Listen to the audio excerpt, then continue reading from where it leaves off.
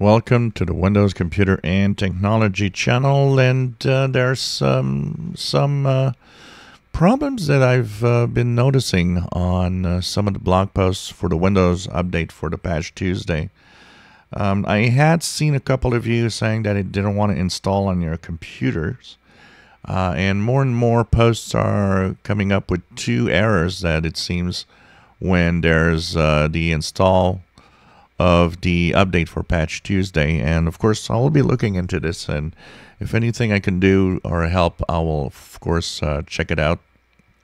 Of course, one of the things you could do is use the Windows Update re uh, repair tool that's within Windows and see if that fixes anything. So, um, this is apparently mostly for Windows 11. And if you're on Windows 11 and you have installed the Windows 11 22H2 update, which is, uh, if you look in your update history, if it's not there, you might know, KB5026372 is the one that's problematic, apparently. And what's in here is that there's one error, which is 0x800F081F. And there's another one, which is 8007002 which is more of a general error message usually.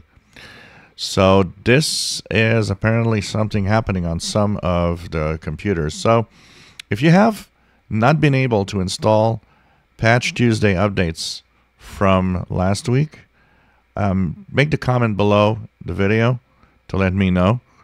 Um, and tell me what error code are you getting for that install if it fails. Uh, among other problems, if you've installed this update, some people are complaining that the VPN options are not working well. So that is apparently for some um, the connection issues with the virtual private network options. And of course, we still have, and I still see here, and, and, and I can confirm that it's kind of random. It's not always the case. Sometimes it's fast, sometimes it's slow but I can actually tell you that I still have that slow SSD speed from time to time. And after Patch Tuesday, it's still reported widely by a lot of people that they have performance issues on their slows, their solid state drives. So this is definitely something that's not fixed here. So, um, anyways, if you have something like that, uh, one of the problems that I talked about, or whatever the VPN, slow speed SSD, or um, error codes and the patch Tuesday install and it doesn't work, just put the comment below and uh, we'll be checking that out. If you enjoy my videos, please subscribe, give us thumbs up. Thank you for watching.